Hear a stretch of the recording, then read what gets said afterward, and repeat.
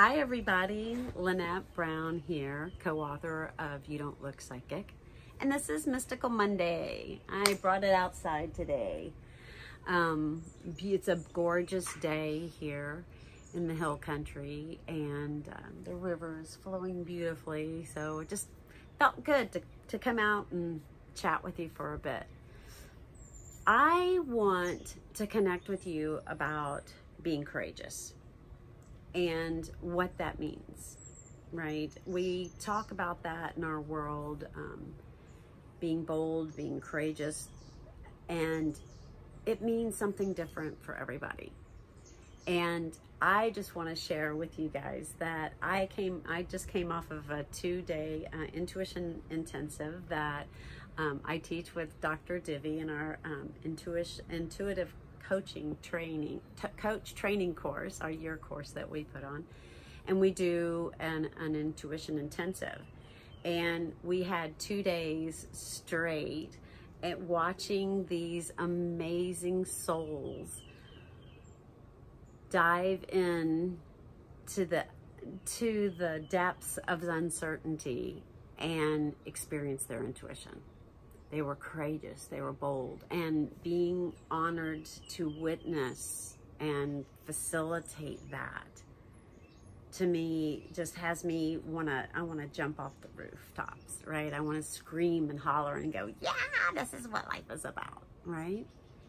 For some people it may be, you know, running a marathon or it may be being courageous enough to heal a relationship that has been severed or, you know, to forgive yourself, right?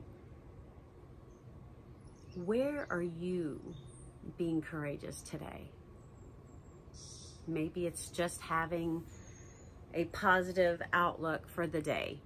Maybe it's uh, being courageous and listening to new music, you know, or saying hello to a stranger despite the plague that we're experiencing, right? All of the uncertainty, all the heaps of misinformation, all of the experiences that we're having in our world, if we can connect to our intuition, our individual, our divine guidance, we will have all the information we need. And that takes courage. It takes courage to not only tap into it, but it takes courage to listen and hear and be with what the message is. So, all of you who are tapping in and utilizing your intuition, I applaud you. I am grateful for you and I thank you. And all of you who are being courageous in your life and being open with your feelings or your emotions and allowing yourselves to truly feel them, that's courageous and I applaud you.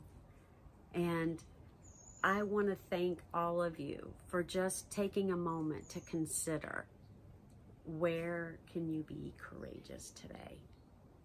Where can you stretch yourself today? Have a great week. I hope it's incredibly mystical and um, courageous. Have a good one. We'll see you next week. Take care.